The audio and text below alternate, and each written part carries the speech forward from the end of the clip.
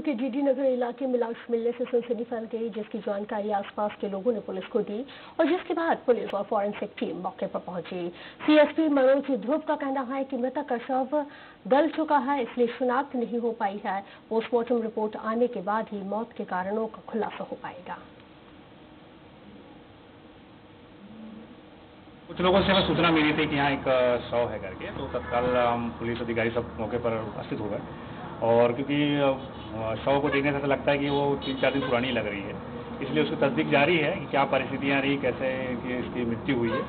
पूरी जानकारी शव पंच शव के पोस्टमार्टम रिपोर्ट के बाद ही लगाई जा सकती है। अभी समय पे हमारे फॉरेंसिक अधिकारी पहुँच चुके हैं, वो भी जाँच कर लगे हुए हैं। पूरी तरह से इसमें जाँच की जाएगी। जो भी है, ये उसके बाद पता चल पाएगा डीडी नगर इलाके में युवक की लाश मिलने के बाद सनसनी फैल गई है। लाश मिलने की सूचना के बाद मौके पर डी नगर पुलिस की टीम और एचएसएल की टीम पहुंचकर जाँच कर रही है। युवक के बारे में अभी पता नहीं चल पाया है कि वो कहाँ का और उसका नाम क्या है। अभी शिनाख्ती की कोशिश की जा रही है। सुबह आसपास के लोगों ने इस शव को देखा उसके बाद पुलिस को इसकी सूचना दी थी।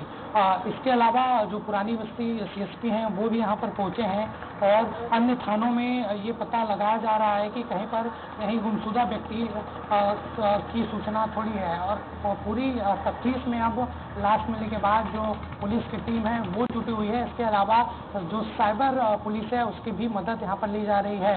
यहाँ पर आप देख सकते हैं ये